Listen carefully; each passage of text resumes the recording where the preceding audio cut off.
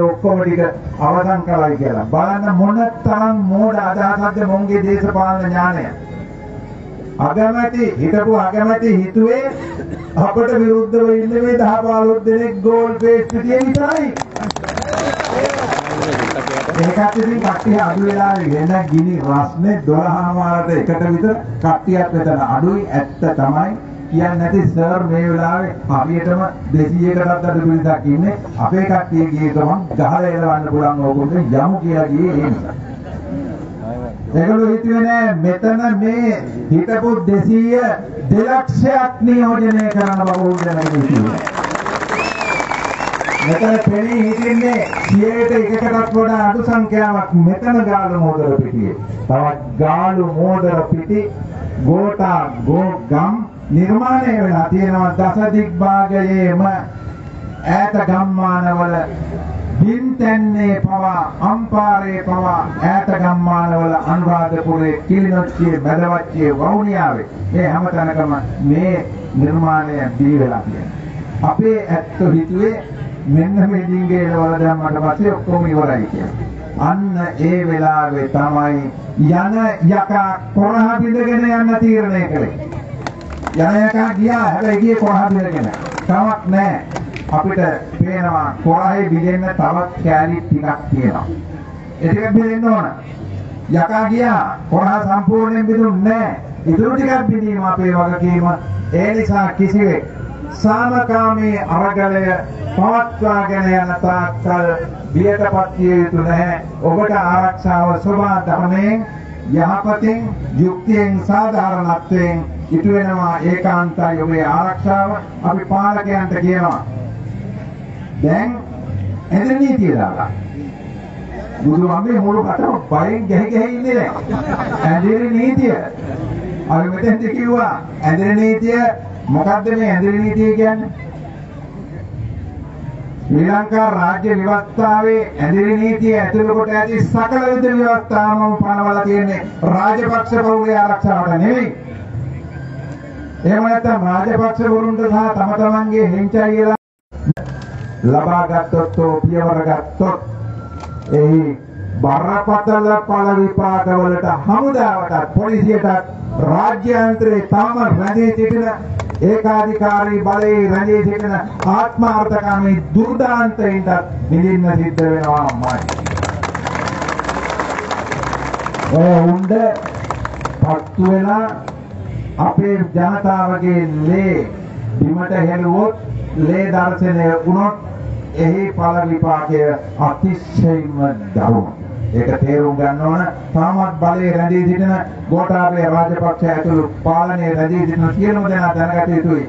ලේ හල්ලලා ලේ හොල්ලලා ලේ හෙලලා ලේ වලින් මේ බිම නාවන්න ගියොත් කිසි කලක ඒ පරමාර්ථයේ ඉටු වෙන්නේ නැහැ. සමස්ත ජනතාවම ශ්‍රී ලංකා වාසී ජනතාවම ඔබ සමගයි. ඒ නිසා අපි යලි යලි ඔබට මතක් කරනවා සාමකාමී අරගලයේ දිගට පවත්වාගෙන යන්න. අපේ අරමුණු ඉටිවන තෙක් ඒ අරගලයේ දිගට පවත්වාගෙන යා යුතුයි. අපි දන්නේ තව පැයක්ද දෙකක්ද දවසක්ද දෙකක්ද කියන බව. ඒක තීරණය කරන්නේ දුර්තාන්ත පාලකයන්ගේ ඊළඟ පියවර සමග මහා සංඝයා වහන්සේ වශයෙන් මේ අවස්ථාවේ ගෞරවනීය පරිවර්තයේ වක්ක අනුනායක ස්වාමීන් වහන්සේ මේ මහාචාර්ය ඔලගන්වත්තේ චන්ද්‍රසිරි ස්වාමීන් වහන්සේ මේ වැඩ ඉන්නවා. අපේ ගෞරවනීය හැරිගල්ලේ විමල සාර ස්වාමීන් වහන්සේ මේ වැඩ ඉන්නවා. මේ ස්වාමීන් වහන්සේලා ඇතුළු මේ අපේ දයාවන්ත ස්වාමීන් වහන්සේ මේ ස්වාමීන් වහන්සේලා ඇතුළු සියලුම ස්වාමීන් වහන්සේලා අද උදේ දෙවරක් අපි සාකච්ඡා කළා කාඩිනල් රංජිත් මල්කම් තුමා සමග අපේ පූජ්‍යතුමාලා එක්ක සාකච්ඡා කළා. මේ අරගලදිම අනි වෙන්නේ නැහැ. සාමකාමී අරගල විමට තුනුරුවන්ගේ සරණ දෙවියන්ගේ ආශිර්වාදය ඒකාන්තයෙන්ම හිමි. අපි මහා සංඝයා වහන්සේ වශයෙන් ඔබ හැමත යලි යලි සෙත් පතනවා. ආශිර්වාද කරනවා.